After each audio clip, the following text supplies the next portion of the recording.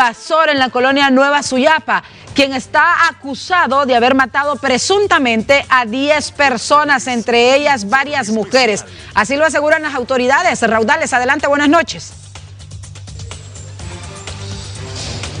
Muchas gracias, muchas gracias compañeros en el estudio oyentes y televidentes de Hable como habla televisión digital y es que la Fuerza Nacional Antimaras y Pandilla, junto con agentes preventivos en el sector de la colonia Nueva Suyapa, a esta hora de la noche reportan una importante captura. Un sospechoso acusado de haber participado en varias muertes de personas, entre ellas varias féminas.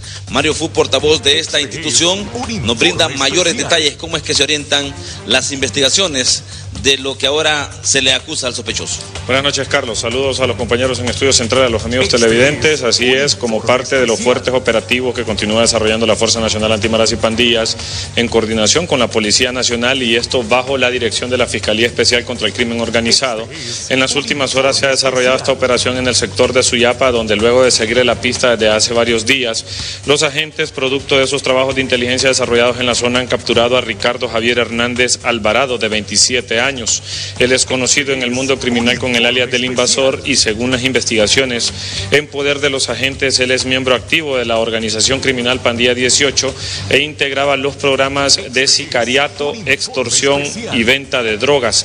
Según han explicado los agentes, eh, él mantenía amenazados de muerte a operarios del sector transporte, propietarios de pequeños negocios y algunos comerciantes del sector de Suyapa, además de otros puntos aledaños, a quienes les exigían fuertes sumas de dinero por concepto de extorsión. Lo grave también de este caso es que se le venían siguiendo varias líneas de investigación por su presunta participación en varios homicidios, dentro de ellos varias féminas, eh, algunos operarios del sector transporte y otras que se habrían eh, cometido bajo la modalidad de encostalados. Esto tanto en la zona donde se desarrolló la operación como en otros puntos de la ciudad. Además a él también las investigaciones lo vinculan en el desplazamiento forzado de familias completas en el sector de Suyapa, a quienes amenazaba con quitarles la vida, sometiéndolas a un mundo de terror y pánico durante varios días hasta que ellos pues optaron por tener que salir de esta colonia.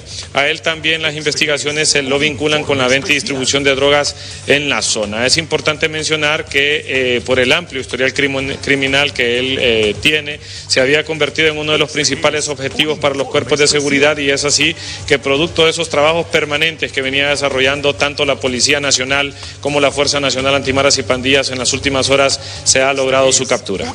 Bueno, muchas gracias, muchas gracias. Mario Fu es el portavoz de la Fuerza Nacional Antimaras y Pandillas. Nosotros completamente en directo y a bordo de la móvil de emergencia de HCH con este contacto regresamos hasta el estudio principal.